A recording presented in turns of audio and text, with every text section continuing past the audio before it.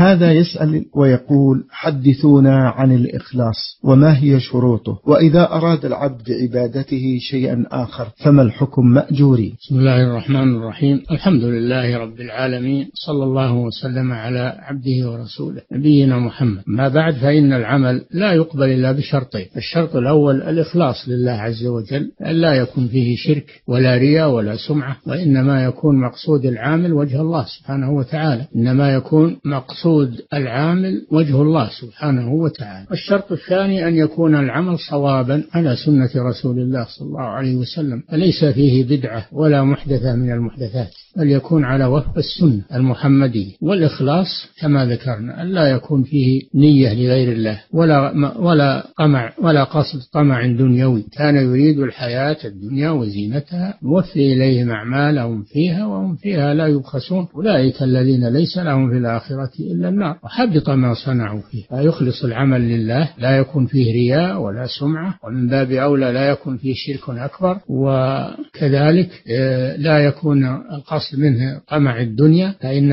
عمل الآخرة لا يجعل وسيلة لعمل الدنيا لطمع الدنيا. فيجب على المسلم أن يتذكر هذا. نعم.